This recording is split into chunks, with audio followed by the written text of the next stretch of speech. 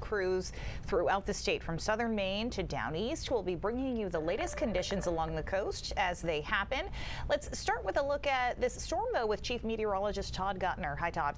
Amanda Bryan, good to see you. Good morning, everybody. On a stormy Saturday morning, we are coming up on this high tide, and it could end up being again historic with all kinds of problems along the coastline. For the most part, it's still rising and it will continue to do so for the next hour as we approach the high tide and then slowly recede through the afternoon. But already we have road closures. We're going to end up with significant beach erosion and possibly some more damage to waterfront and some of those working harbors up and down the coastline. So we're starting to shift our attention to the coast and to this incoming high tide.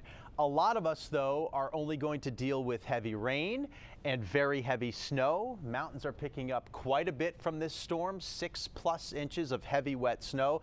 But that rain snow line is penetrating pretty far inland now. It's gotten through the Augusta area. It's moving into and through Bangor. Same thing with Lewiston, Auburn.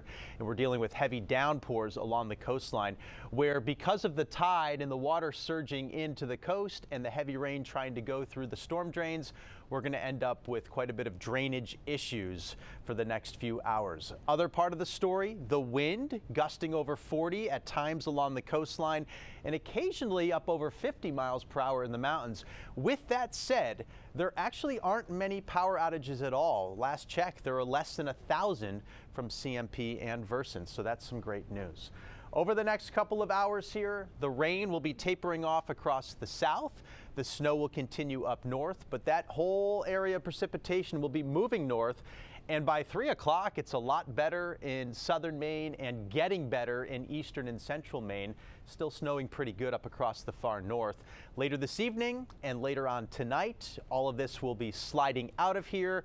We are going to turn a lot colder during the overnight as temperatures drop into the 20s. That means we'll deal with some refreezing, but we'll worry about that tomorrow morning as we get up. So that's kind of the latest right now going on with the storm.